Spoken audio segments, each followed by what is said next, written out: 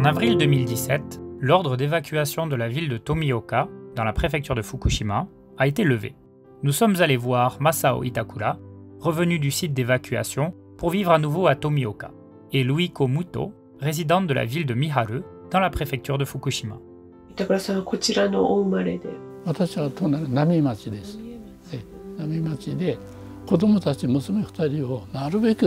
板倉さんはこちらのお生まれで私は隣波町ですえ波町で子どもたち娘2人をなるべくうん学校の近くにということで一番先に狙ったのがここです La ville de Tomioka possède l'une des plus belles rangées de cerisiers en fleurs du Japon. Monsieur Itakura nous en a montré une photo. 道路で撮った桜の咲いた時の情景なんですよ、ええこれを桜のトンネルって言うんですよね、ええ 仮説はもうここにあの書いて去年とと去年ですね去年の6月の29日に私ここへ帰ってきましたからそれまで仮説にいました、だどんな気持ちで仮設の暮らしええだからあの時にやっぱりねあのま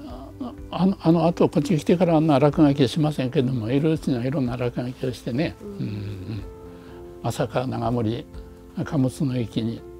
想定連なる仮設の宿で夜ごと夜見る夢ふるさとの桜並木かそこの線鉄道線路のつつじの駅か、ええ。それから海岸の方に行くと小安観音っていうお堂があって小安観音お堂の浜に寄せる波音子守歌。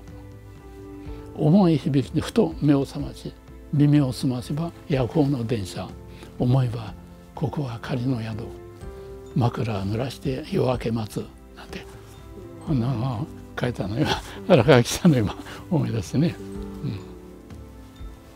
うん、私は本当にはっきりと帰ってきてよかったと思うけども全部誰にでもそう言えるような状態ではないんです。La maison de Monsieur Itakura se trouve à environ 6 km de la centrale nucléaire de Fukushima Daiichi. Les niveaux de radiation y sont encore élevés.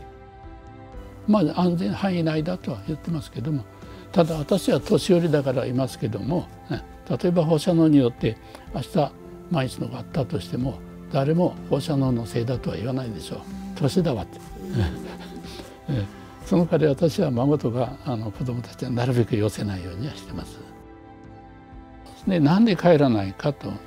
いうとまず私も今実感していることは生活必要品を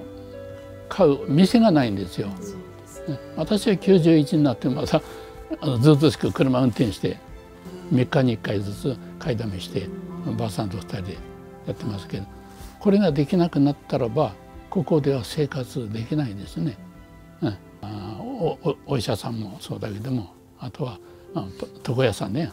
私は好きでこんなやってんじゃないんで床屋さんがないから 時間をかけて解決するっていうあれはないわけですよ。同時に立ち上げなければ帰る途端に店もできるという形ならばもっと来るかもしれないけど。Les gens ne sont pas revenus à Tomioka et le nombre de résidents est nettement inférieur à celui d'avant la catastrophe nucléaire. De nombreuses personnes ont décidé de ne pas revenir et leurs maisons sont démolies. だからこの川富岡川とここの間にはもう日ごとに見晴らしが良くなってきます。ここはね、診療所ね富岡診療所お医者さんはここ2つだけです。このここもこの土地の人も帰ってきません。この人はあの娘さんが茨城にいるっつからそこに行ってますからねその隣もおそらく全部帰ってきませんね。今ああいうふうに解体中ってあの黄色い旗あれは解体中にあの旗を立ていて、うん、で見た感じではね今あそこに見えるあの正面の白い2階建てのあのうちも解体しますね、うん、商店の看板が出てますねあの、うん、リカフーズあそこで食料品を買いそういう生活をしてたんです私ら、うん。うん、ところがあそこはもう帰ってきません、うん、もう荒れ放題。だからおそらく順番が来たら解体するでしょう、うん、今でも泥棒というかまああそこの角に一回入ったって聞きましたけども泥棒に入ろうと思っててうちがなくなったからもう。入るうちがないんですよ。解体したからね、うん、ここに住んで夜になったらどこにいるのか錯覚を起こす時があります。だからボケて始まったばあさんはもうしょっちゅう錯覚を起こしてもう帰ろうとか富岡へ帰ろうなのかあの郡山の仮設に帰ろうなのか。Monsieur Itakura estime qu'on ne communique plus sur ce qui se passe actuellement à Fukushima.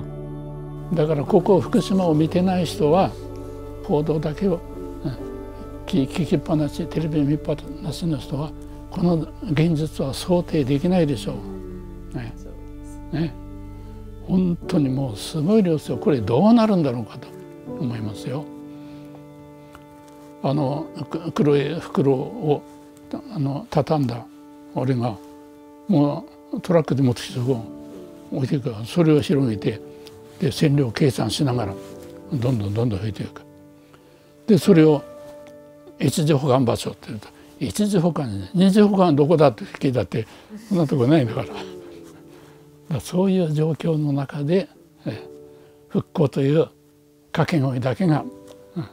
声高に叫ばれております。